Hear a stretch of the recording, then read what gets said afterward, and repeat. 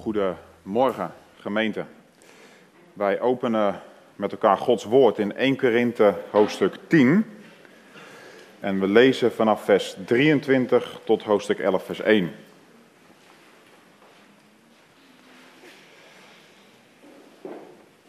...1 Korinthe 10 vanaf vers 23.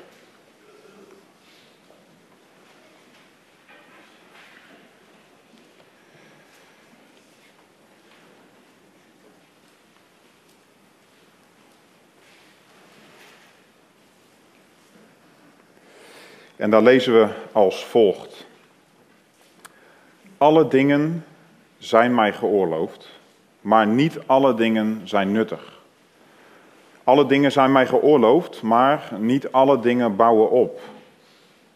Laat niemand zijn eigen voordeel zoeken, maar ieder dat van de ander.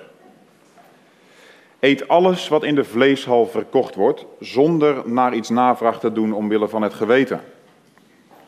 Van de Heere immers is de aarde en haar volheid. En als iemand van de ongelovigen u uitnodigt en u wilt naar hem toe gaan, eet dan alles wat u wordt voorgezet, zonder naar iets navraag te doen omwille van het geweten.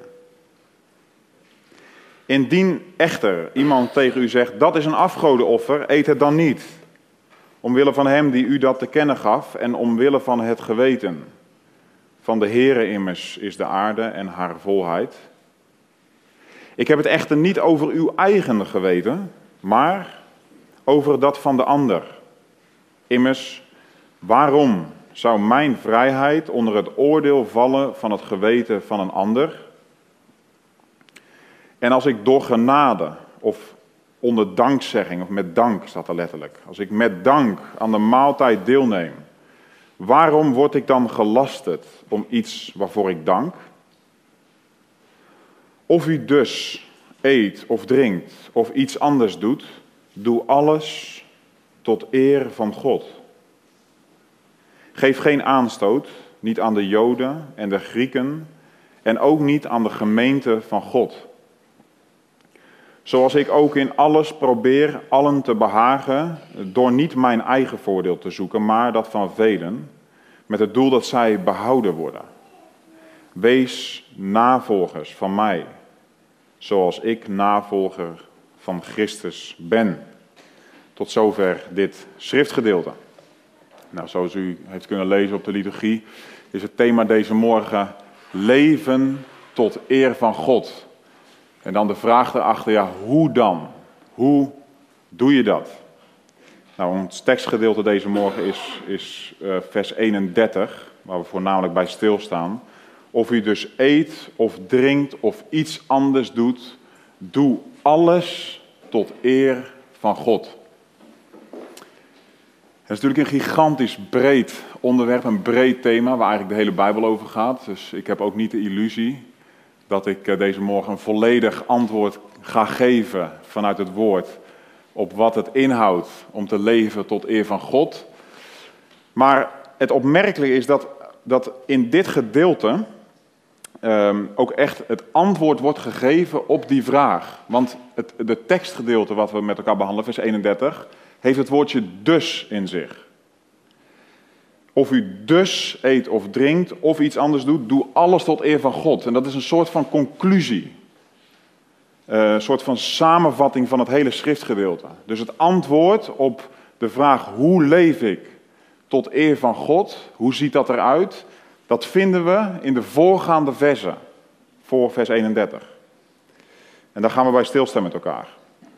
En daarin heb ik twee, uh, twee handvatten, twee gedachten, twee principes die je helpen om zeg maar, het concreet te maken van hoe kan ik leven tot eer van God. En de eerste is waarheid, leven uit waarheid en kennen van waarheid.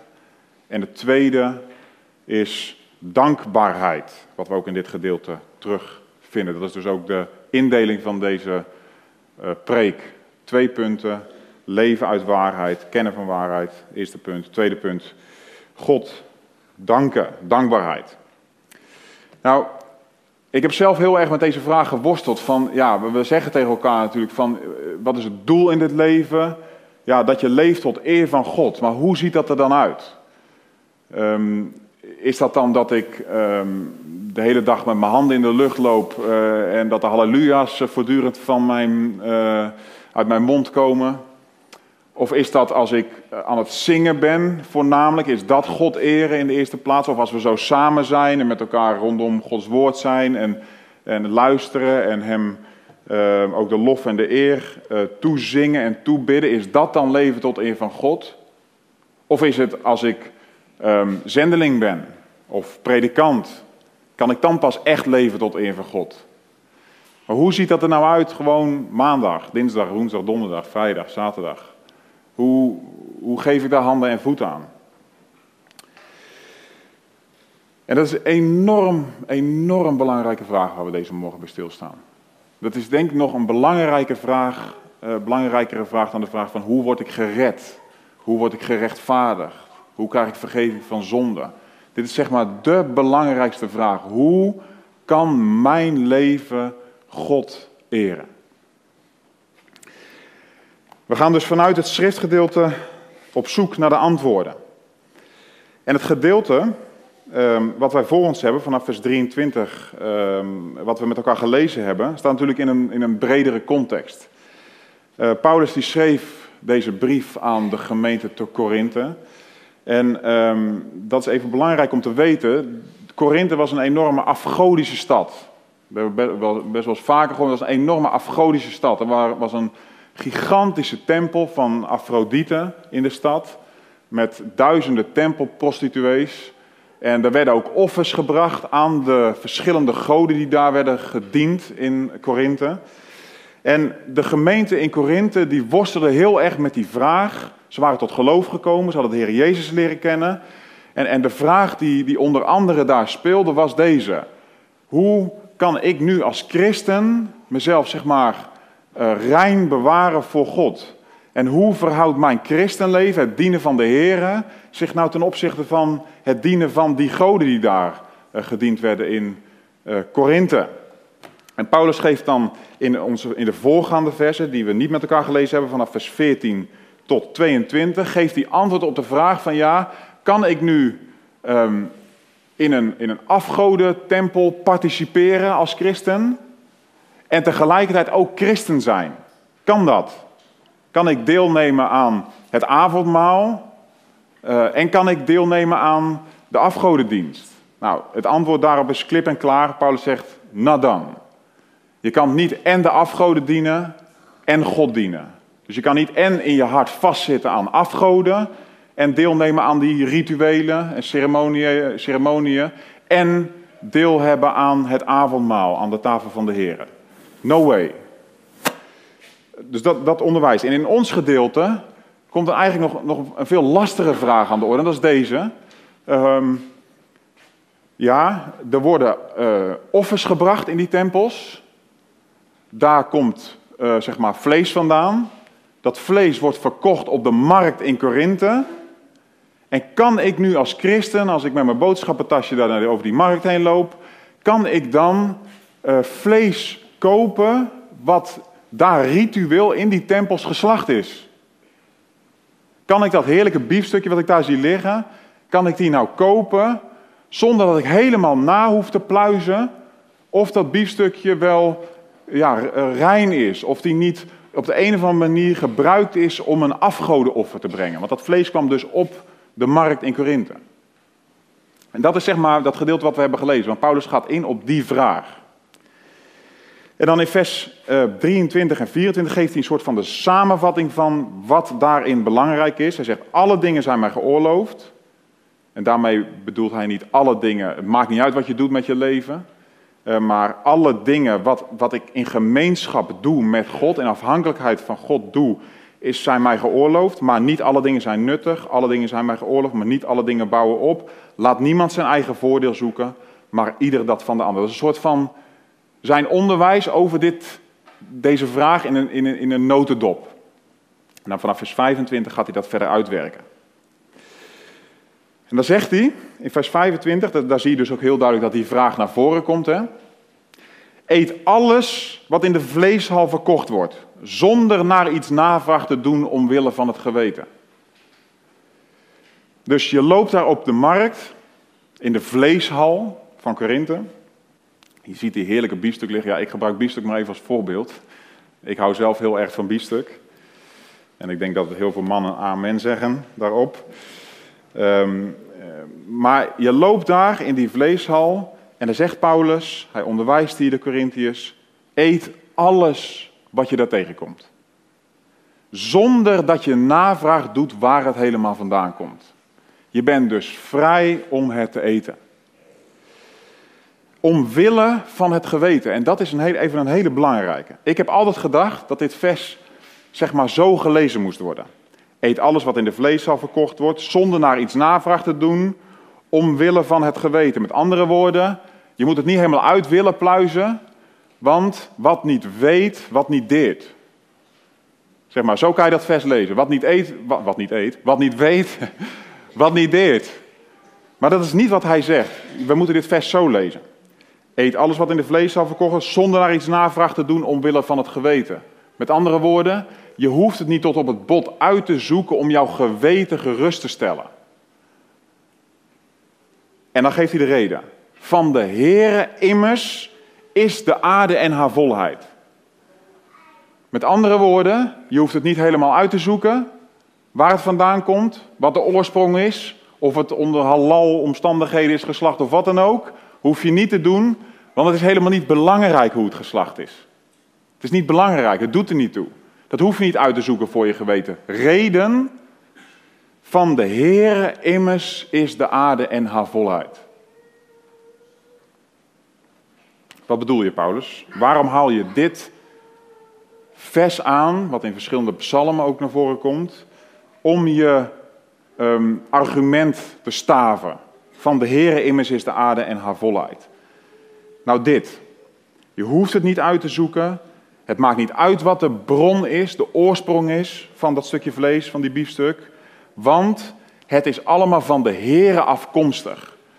God is de bron van deze schepping. En um, iets wat van Hem komt, is niet rein, of onrein moet ik zeggen, van zichzelf. Het kan onrein gebruikt worden, maar het is niet onrein in zichzelf. Dus dat stukje biefstuk is niet onrein in zichzelf, ook al is de bron verkeerd. En dat is, dat is een hele belangrijke als we nadenken over um, hoe leef ik tot eer van God. Paulus um, had een bepaalde waarheid onder zijn levenshuis staan. En um, op die waarheid, die waarheid die hielp hem om bepaalde keuzes wel of niet te maken in zijn leven. En dat onderwijst hij naar die Corinthiërs. En die waarheid was dus deze. Um, God heeft deze wereld gemaakt, God heeft deze wereld goed gemaakt. En um, ongetwijfeld heeft hij in zijn achterhoofd gehad van um, in, in Genesis 9, vers 3, waarin God het opdracht geeft aan Noach. Uh, alles wat zich beweegt, waarin leven is, zal u tot voedsel dienen. Dus vlees mag je als christen eten sorry vegetariërs, het mag gewoon. En je mag, natuurlijk mag je reden hebben om geen vlees te eten. Uh, prima, uh, iedereen is daarin vrij. Maar je mag het eten. Uh, God heeft die opdracht gegeven, Genesis 9, vers 3. Alles wat zich beweegt, zal u tot voedsel dienen. Ik heb het u allemaal gegeven, evenals het groene gewas. Dat is, even, dat is belangrijk. Misschien zeg je, waarom deze hele uitleg? En, maar dit is heel belangrijk. Leven tot eer van God, het eerste punt. Um, als wij willen leven tot eer van God, dan moeten we waarheid in ons leven hebben. Het is niet een bepaald gevoel of, of, of, of uh, die zegt dit, die zegt dat. Nee, het is enorm belangrijk dat we waarheid in ons leven hebben. Net zoals Paulus dat hier onderwijst. Je kan dus weten of je het niet wel of niet moet of mag eten. Vanuit het woord van God. En dit is mooi, want in 1 Timotheus 4 vers 4 staat dit ook. Dat is eigenlijk dezelfde, precies dezelfde gedachte. Want alles wat God geschapen heeft, is goed. Van de Heere immers is de aarde en haar volheid. Alles wat God geschapen heeft, wat heeft is goed en niets is verwerpelijk wanneer het onder dankzegging aanvaard wordt.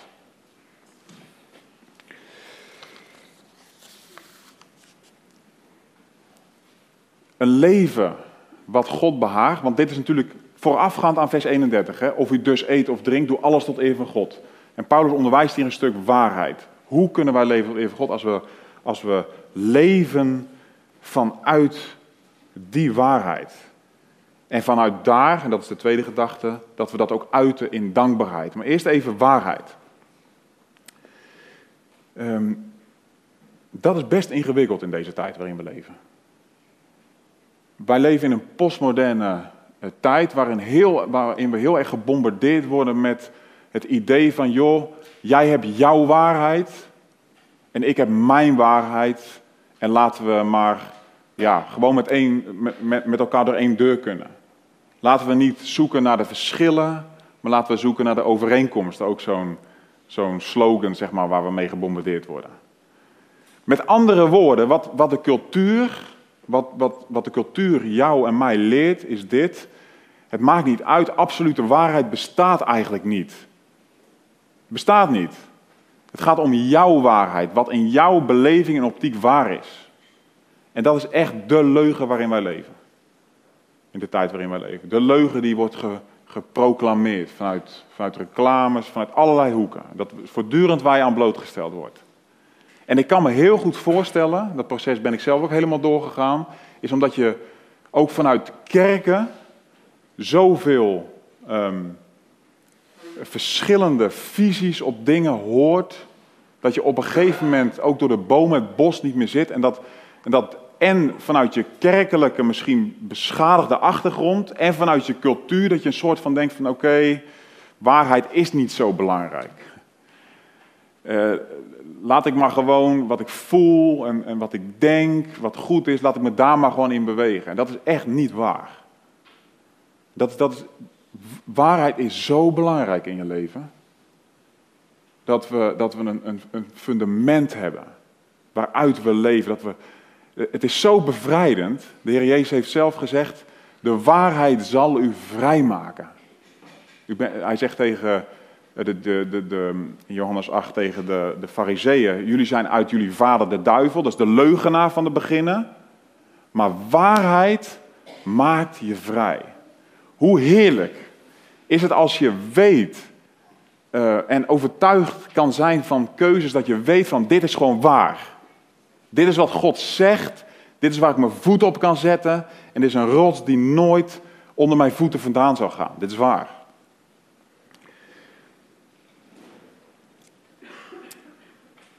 Um, maar ik zou dan heel, heel makkelijk de, dat is ook wel best wel de worsteling geweest in de voorbereiding. Van, ik zou heel makkelijk zeg maar, kunnen gaan oproepen van um, bestudeer je Bijbel. Daar is, dat, is, dat is de waarheid. Pas dat toe in je leven. Uh, want van daaruit ga je steeds meer vrijkomen. En dat is waar. Dat is wat Paulus doet. Hè. Hij zegt van, uh, ik heb bepaalde waarheid, omdat de aarde is van de Heer en haar volheid.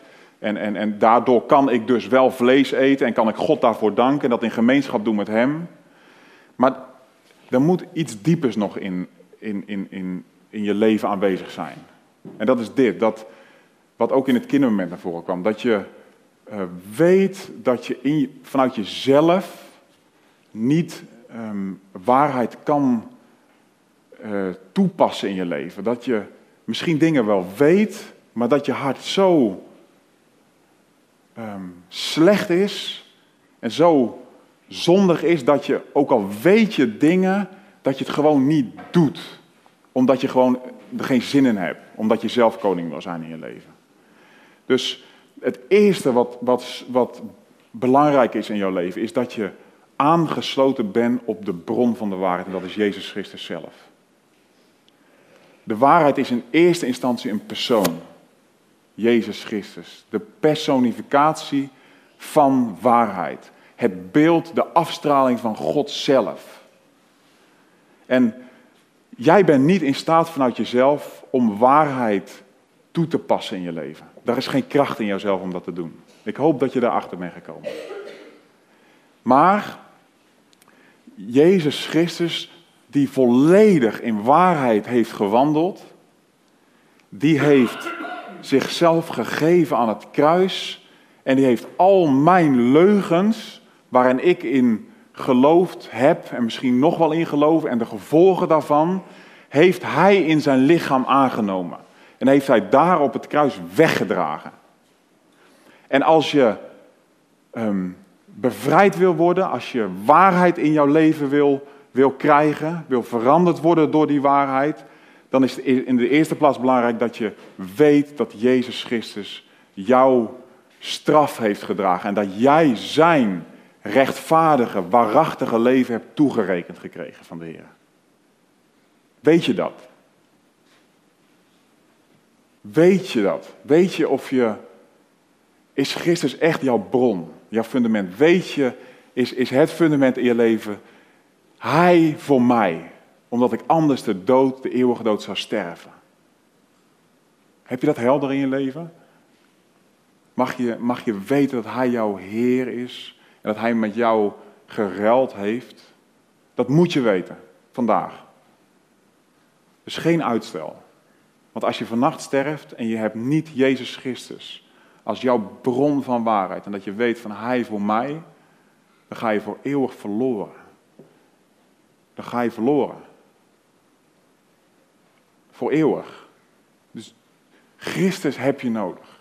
De bron van waarheid. En, en de Heer Jezus leert ons zelf dat in, in Johannes 15 dat Hij de wijnstok is, wij de ranken. En wij moeten verbonden zijn met Christus.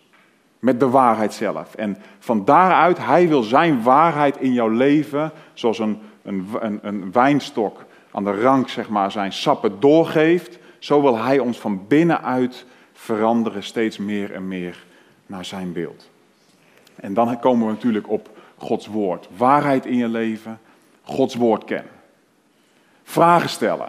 Oké, ik ben single. Hoe kan ik mijn, in mijn singelschap God eren? Wat zegt het woord erover? In mijn huwelijk, in mijn werkgever-werknemerrelatie, in mijn studentenleven, opvoeding van kinderen. Ehm, het woord heeft de antwoorden. En dat is een leven, dus in de eerste plaats, dat is een leven wat God behaagt. Als we verbonden zijn met Christus, als we leven uit waarheid. Want Ehm, Jezus was de waarheid in persoon. En God zei van zijn zoon: Dit is mijn geliefde zoon, in wie ik een welbehagen heb. In hem heb ik vermaak, heb ik plezier. Zijn leven eert mij.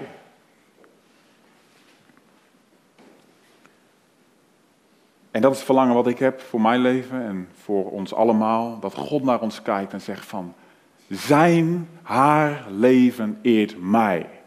Waarheid is in het leven aanwezig. En hierin is het zo belangrijk dat als je zeg maar ook groeit daarin, dus je ontdekt leugens in je leven, je past waarheid toe door genade van God in je leven, dat, je, dat niet jouw gevoel daarin leidend is. Ik heb eens een keer een voorbeeld gehoord van, misschien is het hier ook wel eens genoemd, ik weet het, ik kon niet meer achterhalen waar ik het gehoord heb, maar van een, een vrouwtje, die had eh, vanuit haar kerkelijke achtergrond ook altijd meegekregen, je mag niet fietsen op zondag.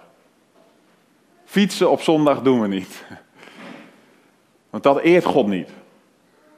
En zij kwam erachter uh, dat, dat je wel mag fietsen op zondag. Dat het nergens in de Bijbel staat dat je niet mag fietsen op zondag. Daar kwam zij achter. Dus zij, werd ontdekt aan waarheid. Zeg maar. Ze had leringen van mensen gehoord en, en daardoor was ze eigenlijk heel erg bekneld geraakt. En, en door het woord kwam ze, ja het staat er helemaal niet joh, ik mag gewoon God eren en, en, en fietsen op zondag. Dat eh, is helemaal niet erg. Ik denk niet dat er veel zitten hier die uh, denken dat ze niet mogen fietsen op zondag. Hè? Maar, maar uh, zij zei toen dit van, maar elke keer als ik op zondag op de fiets stap, dan is er zo'n stemmetje in mijn hoofd. Dit is niet goed. Dit, dit mag je niet doen. En zei, elke keer moet ik me dan zelf weer bekleden met de waarheid. Dit mag wel, want er staat nergens in het woord dat ik niet mag fietsen op zondag. Snap je? Je gevoel moet niet leidend zijn, broeders en zusters. Waarheid moet leidend zijn in ons leven. En dat eert God. En daarin komen we steeds meer in vrijheid. Voordat we naar het tweede gedeelte gaan, of tweede gedachte, um, nog even een, een soort van by the way. Uh, een algemeen principe wat we hierin vinden. Dat is echt heel erg mooi. En dat is dit.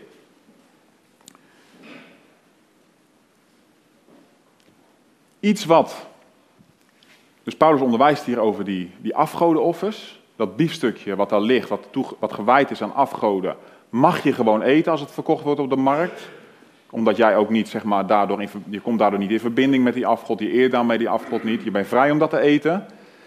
Ehm, en je kan daar God in eren en voor danken. Daarin zit dit principe en dat vond ik echt heel erg mooi. Iets wat, wat een goede oorsprong heeft. Dus dat, dat biefstukje van die koe is schoongemaakt, is prachtig, is goed, kan je eten en God mee eren. Wat dan vervolgens slecht wordt gebruikt, in een afgoden setting, dienst aan afgoden, wordt niet slecht doordat het slecht wordt gebruikt, maar blijft goed. En dat is een principe wat je op heel veel terreinen kan toepassen. Dus iets wat goed is, maar slecht wordt gebruikt door de wereld, door mensen die God niet kennen, wordt niet slecht in zichzelf, ehm, maar blijft zijn goede bron houden. En dat kan je toepassen op heel veel aspecten in je leven. Als je denkt over seksualiteit bijvoorbeeld. Dat is een gave van God, is iets goeds. Maar wordt door deze wereld op een perverse manier gebruikt. En neergezet en geprojecteerd.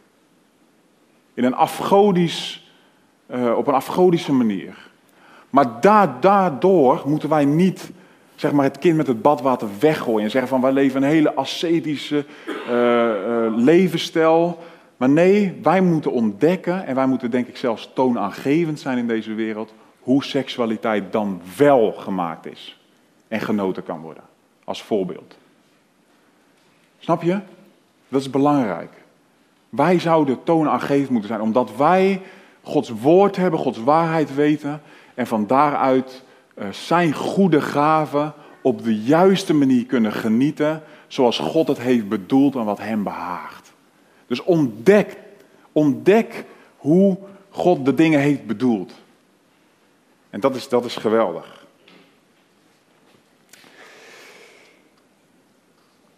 Nou, als je dus je, eh, het, je, het leven tot eer van God vergelijkt met een, een huis, dus leven tot eer van God is synoniem aan een huis, even als voorbeeld, dan is wat ik nu uh, heb behandeld, waarheid is zeg maar het fundament van dat huis. De eerste gedachte. De tweede gedachte is dankbaarheid. Dat is zeg maar het huis zelf, wat, wat veel meer misschien zichtbaar wordt. En ze horen bij elkaar. als er geen fundament is, knalt het huis in. En als er, geen, uh, als alleen een fundament is, dan zie je ook niks. Tweede gedachte, dankbaarheid. Want, want leven uit waarheid, um, daar stopt het niet. Daar stopt het niet. De andere kant van de medaille is leven uit dankbaarheid. Dat vinden we ook in dit gedeelte. Lees maar even met me mee.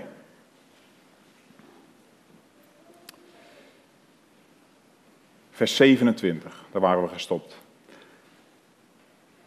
En als iemand van de ongelovigen u uitnodigt en u wilt naar hem toe gaan, eet dan alles wat u wordt voorgezet zonder na te vraag, navraag te doen omwille van het geweten. Je hoeft dus niet, als je uitgenodigd wordt door je buurman en die zegt, joh, kerel, ik heb een barbecue georganiseerd. En uh, kom je bij mij eten? Nou, jij gaat daar eten, hoef je niet na te vragen, uh, waar komt dat vlees vandaan, wat is de oorsprong? Hoef je niet te doen omwille van het geweten, want je weet dat het niet uitmaakt. Vers 28. Indien echter iemand tegen u zegt, hey, dat is een afgodenoffer, eet het dan niet omwille van hem die u dat te kennen gaf, en omwille van het geweten. Van de Heere immers is de aarde en haar volheid. Paulus geeft hier een uitzondering op de regel. En dat is deze. Je moet in jouw vrijheid die je hebt rekening houden met de ander. Dat zegt hij ook in 1 Korinthe 8. Dat moet je thuis maar eens nalezen. Gaat redelijk over hetzelfde thema. Houd rekening met de ander.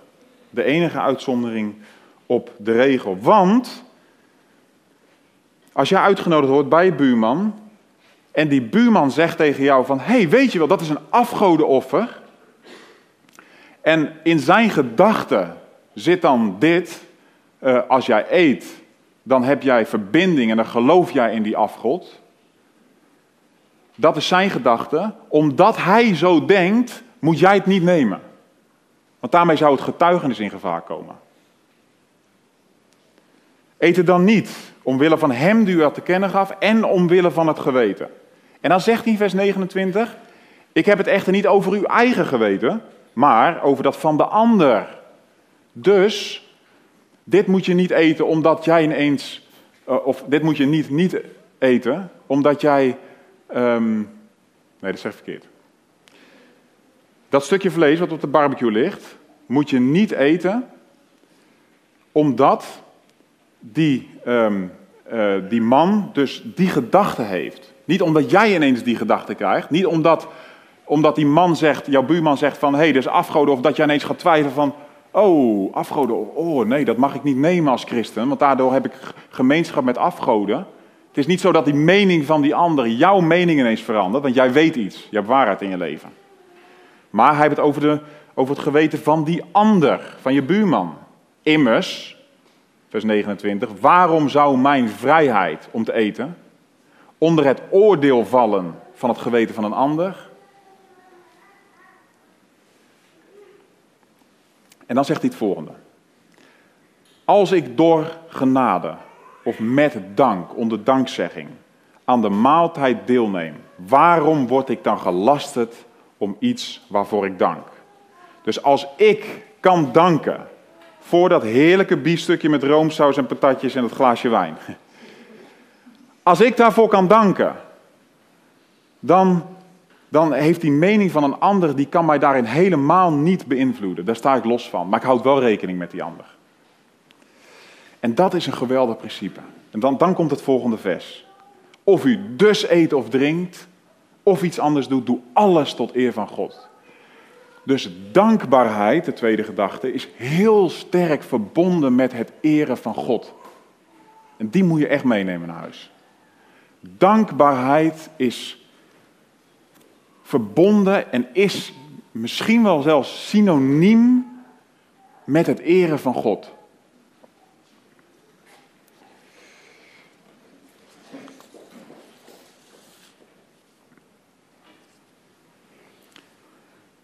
En dat is zo belangrijk. Want je kan zoveel waarheid in je leven hebben en daar ook nog uit leven. Maar dat moet niet stoppen, zeg maar, in jezelf.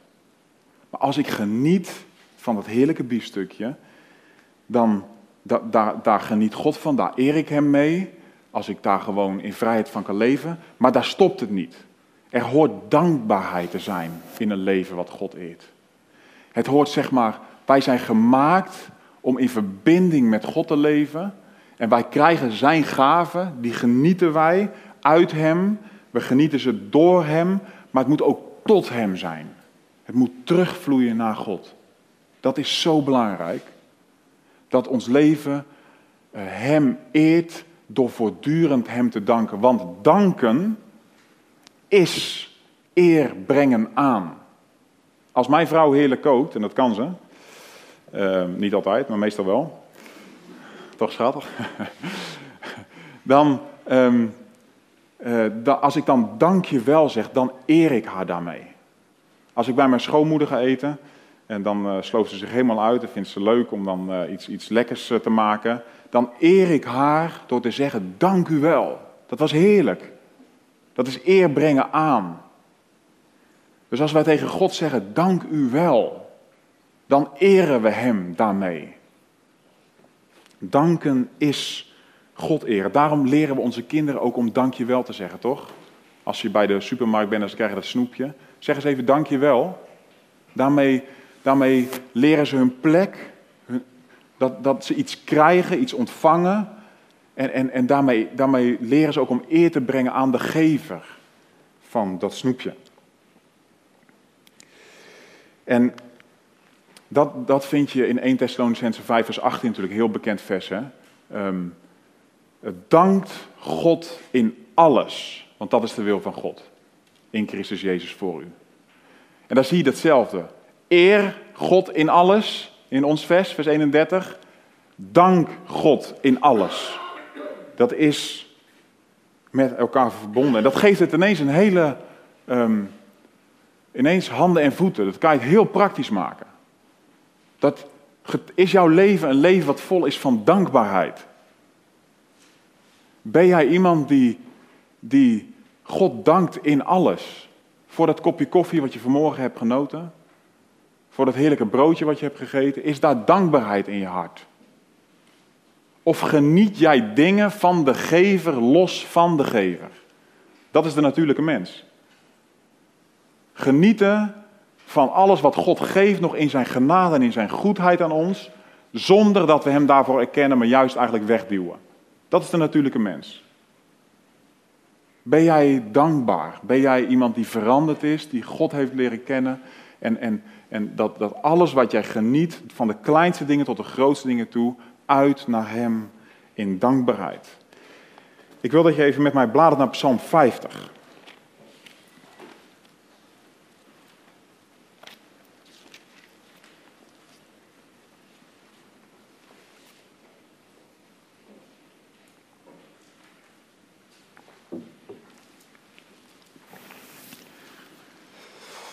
De psalmist Asaf, die, um, die schrijft deze psalm.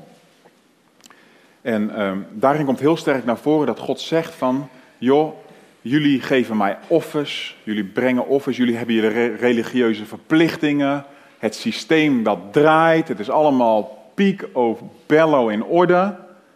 Maar, vers 14. Dus hij zegt, jullie offeren, in vers 8, uh, zie je dat heel sterk terug. Uh, jullie offeren wel en, en ik zie jullie brandoffers. Maar dan zegt de, God in vers 14, er is God, um, uh, daar komt dit naar voren. Offer dank aan God. En kom aan de Allerhoogste uw gelofte na. En de basisbijbel die vertaalt het als volgt, en die vond ik erg mooi. Die vertaalt het zo, vers 14. Dit is het offer dat ik van jullie vraag. Ik wil jullie dankbaarheid. Dat is wat God van je vraagt deze morgen. Hij wil je dankbaarheid. Het offer wat hij van je vraagt. Dat vind je in vers 23 ook terug.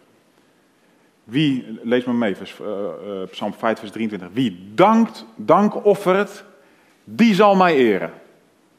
Wie de rechte weg gaat, zal ik Gods hel doen zien. Zie je? Hem danken, hem erkennen, is God eren. En daar zijn we voor gemaakt. Daar zijn wij voor gemaakt, als schepselen van God. Um, ik, had een, ik, heb een hele oude buurman. En die heeft een, uh, die heeft een dochter, die is ook al uh, redelijk wat op leeftijd. Ik zal niet zeggen hoe oud ze is, want dan beledig ik mensen hier in de gemeente. Maar uh, en die, die is vrijgezel en die houdt heel erg van reizen. En die was vorige zomer naar de Alpen geweest. En ik stond zo, we stonden in ons voortuintje, ik stond onkruid te wieden en zij stond ook een beetje onkruid te wieden. En ik vroeg, hoe is je vakantie geweest? En uh, ze zegt, ja, ik was in de Alpen, joh. En het was zo geweldig. Als je die bergen ziet, je staat daar en je ziet die geweldige bergen met die gletsjers en die, die sneeuwtoppen en die grootsheid. Dan, toen zei ze dit, dan dank je en eer je alles en iedereen. Dus uh, ik ging verder met mijn tuintje wieden. En ik, was, ik, ik, liep, ik liep de hele dag over na te denken. Dan eer je alles, of dan prijs je alles, zei ze volgens mij, dan prijs je alles en iedereen. Dat is zo kenmerkend voor de mens. Wij zijn gemaakt om, omdat de dingen te groot zijn voor ons, om die eer te brengen. Als wij iets moois zien, als wij iets genieten, dan is de natuurlijke reactie dat we eer willen brengen. En dank willen brengen. Dat we willen prijzen, dat zie je natuurlijk in de sportwereld heel sterk. Roem brengen, prijzen, aanbidden, eren. Dat zit in ons. Daar zijn we voor gemaakt.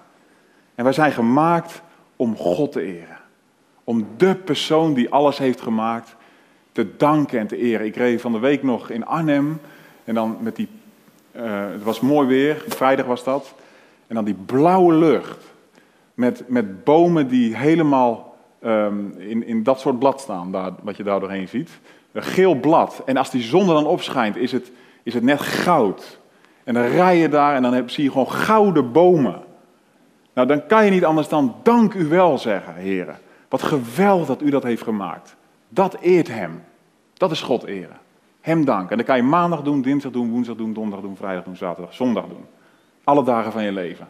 Danken voor als jij in je werk ehm, iets, iets tot stand brengt, dat je iets moois hebt gemaakt. Dat je gaven van God hebt gekregen, zodat je iets hebt kunnen creëren.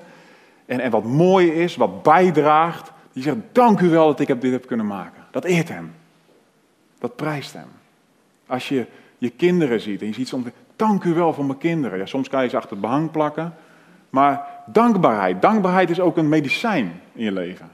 Het is een medicijn. Het, het, het is, je kan of zeg maar, de negatieve kant zien en mopperen en ontevreden zijn. En het is, er zijn altijd dingen te wensen in het leven.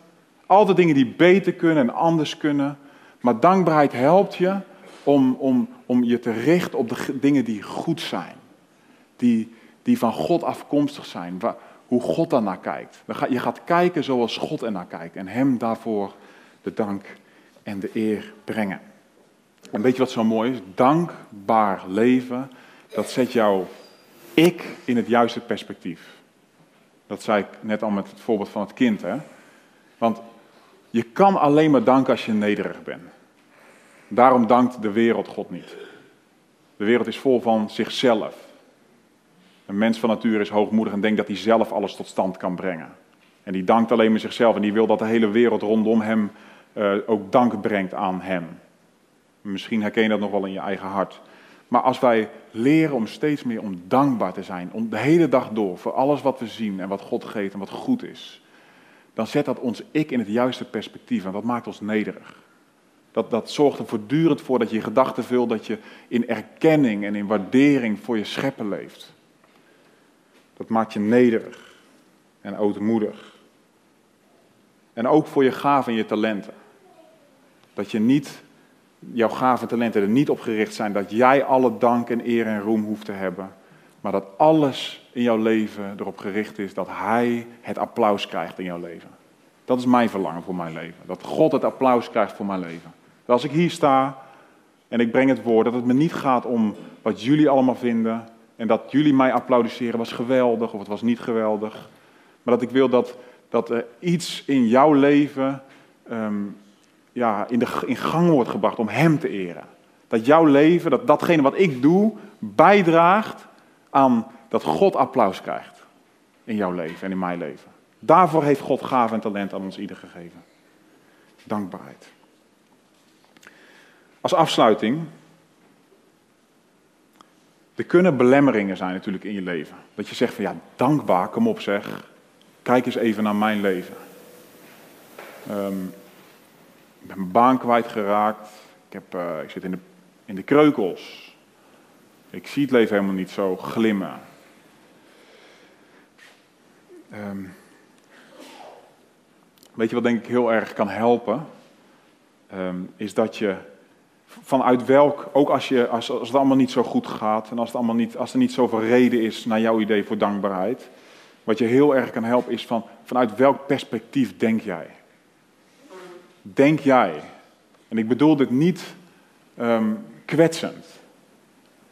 Um, denk jij als een rechthebbende, ook in, jou, in, jou, in de kreukels waarin je zit misschien? Denk je als een rechthebbende of denk je aan als een rechteloze? Ik bedoel dit. De mate van dankbaarheid in je hart heeft alles te maken met de mate waarin je denkt recht te hebben op dingen. Als ik denk dat ik, of als mijn kind denkt dat hij recht heeft op dat snoepje, dan dankt hij niet. Maar als hij weet dat hij geen recht heeft op dat snoepje, maar het toch krijgt, dan zal hij veel sneller danken en zijn dank uiten. Weet je wat wij verdienen? Wat we, als we naar recht, zeg maar, uh, afgerekend zouden worden, dat is de hel. Dat is wat wij verdienen. Wij verdienen eeuwig oordeel, en eeuwige vroeging, en eeuwig pijn, en eeuwig lijden, en eeuwig had ik maar, had ik maar, had ik maar. Dat is wat we verdienen. En alles wat wij meer hebben dan dat, is reden tot dankbaarheid. In dit leven. Alles wat we meer hebben dan dit, de hel, eeuwig oordeel, is reden tot dankbaarheid. Ook al, ook al gaat alles in je leven verkeerd in dit natuurlijke leven. Ook al is alles uitzichtloos voor je idee. Toch hebben we reden tot dankbaarheid. Want wat is, wat is niet de grootste reden tot dankbaarheid? Dat, dat zit niet hier in dit leven. Het zit niet in de eerste plaats in de zonschijn, in de prachtige bomen, in het heerlijke eten, in het lekkere glaasje wijn in de eerste plaats. Ook. Maar zouden we niet zo ontzettend dankbaar moeten zijn en op moeten springen van vreugde over wat God voor ons in Christus gedaan heeft? Het gaat niet meer om dit leven. Hij heeft ons bevrijd van de macht van zonde. Hij heeft vergeving gegeven. Hij heeft mij in zijn huisgezin geplaatst. Hij is mijn Abba-vader. En als ik sterf, misschien wel in de meest erbarmelijke omstandigheden, onder vervolging en druk en down en depressiviteit, toch weet ik, en ik hoop dat dat in je leven fundament is, dat ik voor eeuwig bij Hem mag zijn. Dat Hij voor mij in Christus en door genade een toekomst heeft klaargelegd wat geen oog heeft gezien, wat geen oor heeft gehoord en wat in geen mensenhart is opgeklommen. Dat is wat hij voor jou heeft bereid. Er is zoveel reden tot dankbaarheid, lieve broeders en zusters. Zoveel. God is zo goed voor ons en zo genadig. Zo vol erbarmen en medelijden. Leven dus uit waarheid en voortdurend je dankbaarheid uiten in Hem. Er zijn twee handvatten die ik je mee wil geven om te leven tot eer van God. Want uit Hem, al zijn gaven en door Hem, door, de, door Zijn kracht en in gemeenschap met Hem genoten en tot Hem in dankbaarheid geuit, zijn alle dingen. Hem zij de heerlijkheid tot in eeuwigheid. Amen.